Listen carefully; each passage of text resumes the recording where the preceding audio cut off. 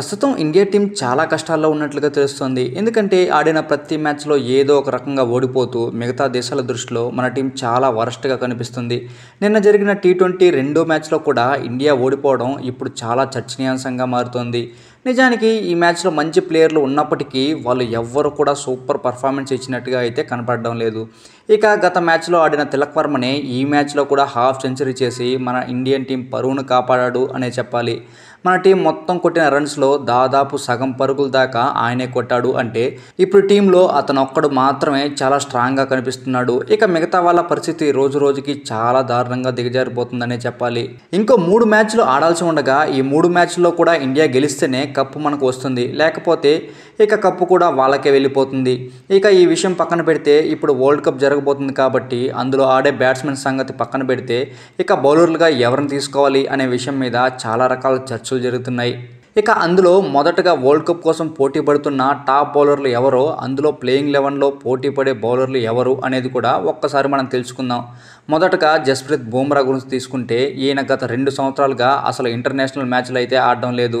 ఎప్పుడు ఏదో ఒక గాయంతో టీంలో ఆడకుండానే వెళ్ళిపోతున్నాడు. అయితే ఆయన ప్రస్తుతం గాయం నుంచి కోలుకొని టీంలో ఆడడానికి రెడీ అవుతున్నాడు. ఇక ఈ ప్లేయర్ తర్వాత మనం చెప్పుకునే ప్లేయర్ భువనేశ్వర్ కుమార్. ఈయన కూడా గత కొద్ది రోజులుగా ఫిట్నెస్ని కోల్పోయి మళ్ళీ తిరిగి సంపాదించుకునే పనిలో పడ్డాడు. అందుకోసమే జిమ్లో తెగ కష్టపడుతున్నాడు. నిజానికి భువనేశ్వర్ కుమార్ చాలా మంచి బౌలర్. తాను ఫామ్లో ఉంటే మాత్రం సూపర్గా బౌలింగ్ చేస్తూ ఇండియన్ టీంని గెలిపించే ప్రయత్నం అయితే చేస్తాడు.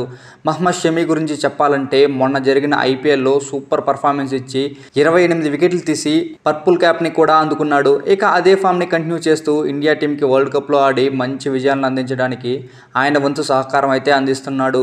ఈ లిస్ట్లో తర్వాత చెప్పుకునే పేరు మహమ్మద్ సిరాజ్. సిరాజ్ కూడా వరల్డ్ క్లాస్ బౌలర్ అనడంలో ఏ మాత్రం సందేహం లేదు. ఆయన వేసే బాల్స్ని ప్రత్యర్థి బ్యాట్స్మెన్స్ ఎదుర్కోవడంలో చాలా వరకు ఇబ్బంది పడుతూ ఉంటారు. అలాగే ఆయన వికెట్లు కూడా ఎక్కువగా తీస్తూ ఉంటాడు. కాబట్టి ఆయన టీంలో ఉండడం చాలా వరకు టీంకి ప్లస్ అవుతుంది. ఇక ఈ టీంలో నెక్స్ట్ చెప్పుకునే ప్లేయర్ శార్దుల్ ఠాకూర్. ఆయన ఇప్పటికే ఇండియన్ టీంలో ఆడుతూ మంచి పర్ఫార్మెన్స్ అయితే ఇస్తున్నాడు. నిజానికి శార్దుల్ ఠాకూర్ టీం కష్టాల్లో ఉన్న ప్రతిసారి వచ్చి వికెట్లు తీసి టీంని కష్టాల నుంచి బయట వేసే ఒక ఆపద్ బాంధవుల్లా తయారయ్యాడు అనే చెప్పాలి. అయితే వరల్డ్ కప్లో ఆడే ప్రతి మ్యాచ్లో కూడా శార్దుల్ ఠాకూర్ అవసరం అయితే టీంకి ఉంటుంది? ఇక ఈ లిస్ట్లో మనం చెప్పుకునే నెక్స్ట్ ప్లేయర్ దీపక్ చహర్. ఈయన కూడా ఐపీఎల్లో సూపర్గా బౌలింగ్ చేస్తూ చెన్నై టీంకి మంచి విజయాలను అందించాడు. ముఖ్యంగా దీపక్ చహార్ వేసే బాల్స్ స్వింగ్ అవుతూ ఉంటాయి. కాబట్టి పవర్ ప్లేలో తాను వేసే బాల్స్తో ప్రత్యర్థి బ్యాట్స్మెన్స్ని చాలా వరకు ఇబ్బంది అయితే పెడతాడు. అలాగే వికెట్లు కూడా బాగానే తీస్తాడు. ఇక ఈ లిస్ట్లో ఉన్న మరో ప్లేయర్ మోహిత్ శర్మ. ఈ ఇయర్ ఐపీఎల్లో గుజరాత్ టీం నుంచి బరిలోకి దిగిన ఆయన ఈ ఇయర్ ఐపీఎల్లో ఇరవై ఏడు వికెట్లు తీసి రెండవ హైయెస్ట్ వికెట్ తీసిన ప్లేయర్గా మంచి గుర్తింపు తెచ్చుకున్నాడు. ఇక వీలైతే ఈ ఇయర్ వరల్డ్ కప్లోకి ఈయన కూడా వచ్చి తన ప్రతిభను చూపించుకోవాలని చూస్తున్నాడు. ఇక ఈ లిస్ట్లో ఉన్న మరో ప్లేయర్ ఉమ్రాన్ మాలిక్.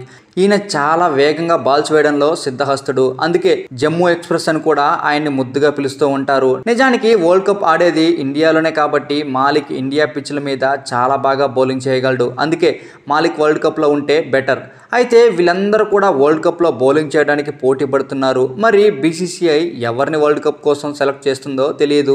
అలాగే సెలెక్ట్ చేసినా కూడా ఎవరు ప్లేయింగ్ లెవెన్లో ఉంటారో కూడా తెలియదు.